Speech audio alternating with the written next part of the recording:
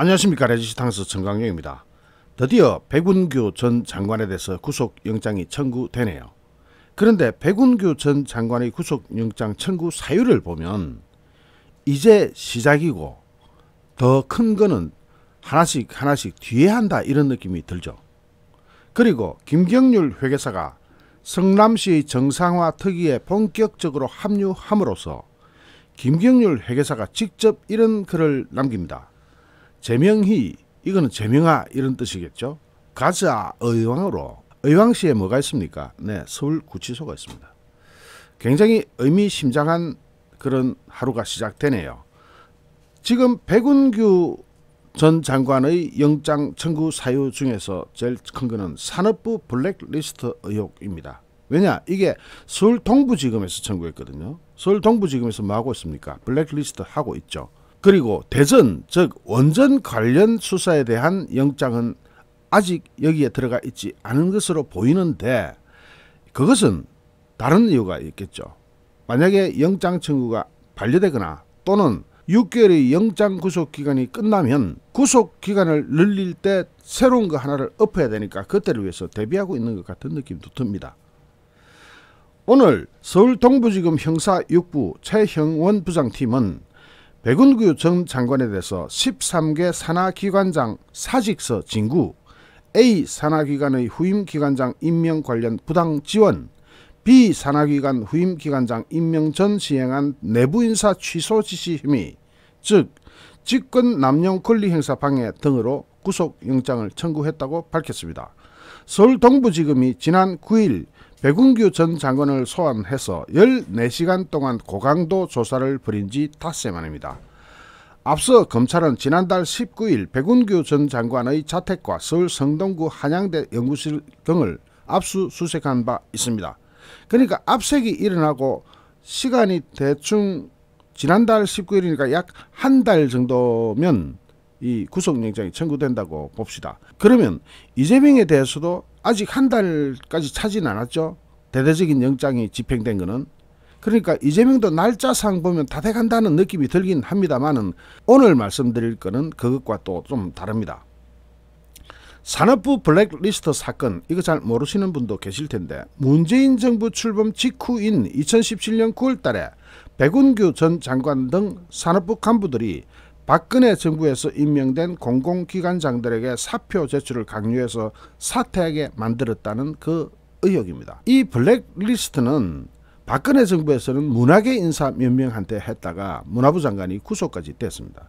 그것과는 비교도 될 수 없는 비교도 할 수 없는 엄청난 숫자의 블랙리스트가 문재인 정부에서는 돌았고 그에 관련해서 환경부 장관도 이미 구속됐고 이번에 블랙리스트 건으로는 두 번째로 백운규 전 산업부 장관이 구속되는 겁니다.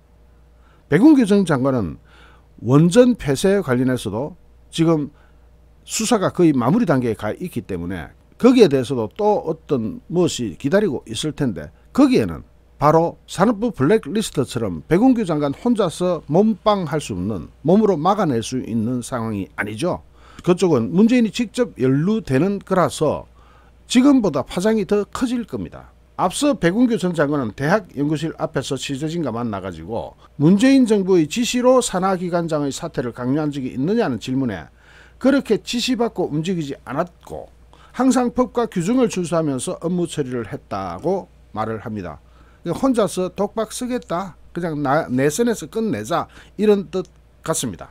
이런 상황에서 김경률 회계사가 어제 올렸던 글. 김경률 회계사는 이 글을 보고 성남시 인수위에 가기로 했다. 가자 재명이와 함께 의왕으로 의왕에는 서울구치소가 있는 곳입니다. 그 글이 뭐냐? 맞습니다. 국민의 힘같이 뇌물 받는 쓰레기들은 확실하게 쓰레기장으로 보내야 됩니다. 누가 쓴 글이냐? 이재명이 쓴 글 같습니다. 지난 6.1 지방선거 당시 국민의힘 후보로 나선 성남시장에 당선된 신상진 당선인이 시장직 인수위원회를 꾸리면서 참여연대 출신 김경률 회계사를 시정 정상화를 위한 특별위원으로 임명했습니다. 김경률 회계사는 시장직 인수위에 합류한 이유를 거론하면서 더불어민주당 상임 고문인 이재명 의원의 동영상을 게시해가지고 향후 이재명 의원의 성남 시절 의혹을 파헤칠 것임을 정통으로 예고하고 났습니다.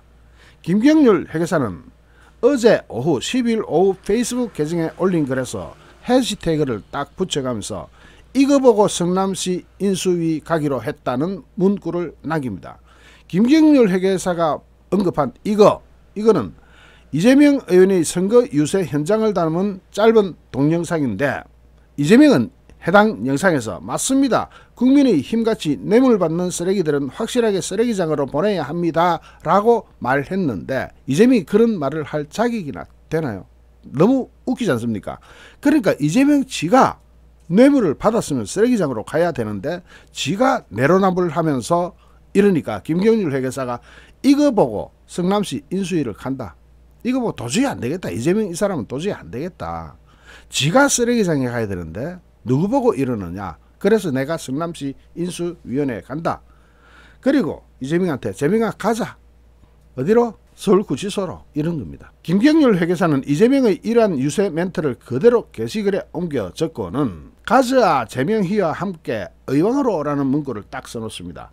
김경률 회계사는 이런 해시태그 문구들에 대해서 별다른 의미나 설명을 붙이지는 않았지만 게시물을 본 페이스북 이용자들 일부는 성남시 정상화 활동 기대된다, 응원한다 등등의 응원 댓글을 달기 시작합니다. 정택진 성남시장직 인수위 대변인은 어제 김경률 회계사에 대해서 인수위가 직접 특위 참여를 요청했고 김경률 회계사가 이를 받아들였다면서 김경률 회계사는 대장동 게이트에 대한 문제점을 구체적으로 분석한 전문가다. 사실상 대장동이 수면 위로 떠오르게 한 주인공이 누굽니까?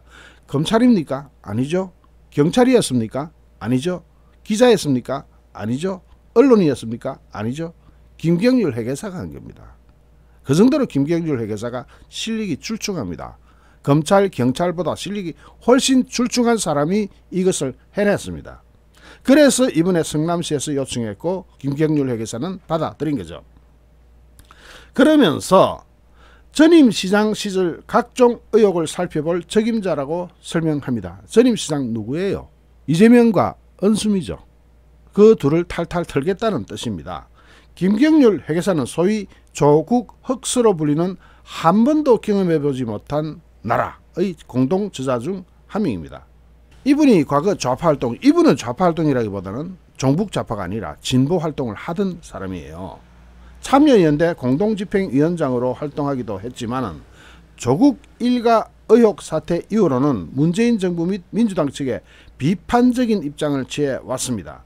지난 대선 기간에도 대장동 개발 특혜 의혹과 관련해서 당시 민주당 대선 후보였던 이재명을 지속적으로 비판하기도 했습니다. 그리고 김경률은 이런 이야기도 올립니다. 민주당 쪽 사람들 몇몇 책에서 들었다. 진중권과 너는 죽여버리고 싶단다. 어이 섬뜩합니다. 취해서 전하기도 하고 술자리에서 슬쩍 눈치를 보며 말하기도 하는 등등 진중권 교수에게 전하는 민주당 상근 부대변인의 발언을 보면 빈말이 아닌 것 같아. 와우.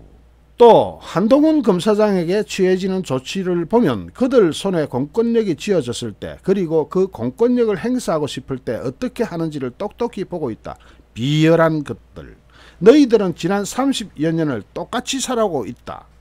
80년대 너희들의 삶 얼마나 비루하고 저열했는지 나는 똑똑히 기억한다. 권력과 이권을 쫓아가는 너희들의 삶이 그대로 이어져 오늘에 이런 것이지 이게 누구 이야기 같습니다. 김경률 회계사 이야기입니다. 그러니까 80년대의 저들의 삶을 똑똑히 기억한다. 여러분도 대충 아시잖아요. 걔들 어떻게 살았는지. 주사파 아닙니까 말하자면은. 그리고 80년대 하면은 딱 떠오르는 게 586이죠. 지금 현재 586 정치인들 이야기하는 겁니다. 지금 성남시 인수위원회가 거론하고 있는 전임 시장들 하면은 민선 5기 6기 성남시장은 이재명이고 민선 7기 현 시장은 은수미입니다. 이어서 김경률 회계사는 대장동 게이트를 비롯해서 이재명 은수미 시장 재임 시절에 불거진 대형 비리 의혹과 관련해서 성남시가 공개 또는 비공개한 관련 자료들을 면밀히 조사해서 진상을 규명하는 데 역할을 할 것이라고 했습니다. 이번에 성남시장 정말 잘 바뀌었습니다. 큰일 날 뻔했어요. 영원히 묻혀질 뻔했습니다.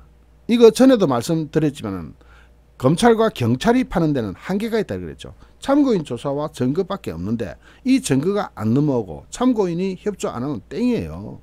그런데 내부에서 특히 성남시장이 인사권과 조직권을 쥐고 행정권을 쥐고 성남시에서 자발적으로 이렇게 조사를 하면 검찰과 경찰은 그 결과만 가지고도 결정만 하면 돼요. 구속, 불구속 이거 결정만 하면 되는 그런 참 특이한 상황이 되는 겁니다.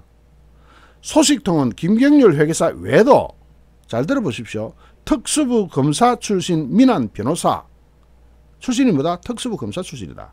감사원 출신 감사 전문가 등등 비리 추적 능력이 뛰어나고 인품도 원만한 인물들이 정상화위원회에서 역할을 하게 될 것이라면서 신상진 당선인의 성남시 정상화 의지는 굳다고 강조하고 있습니다. 다만 신상진 당선인이 구성하는 정상화위원회는 이재명 전 시장뿐만이 아니라 은수미 전 시장 등 성남시 전임 시장들의 재임 기간 내내 축적된 문제점을 종합적으로 개선하려는 것이라면서 특정인 죽이기가 아니라 시장의 정상화가 목적이라고 강조했습니다.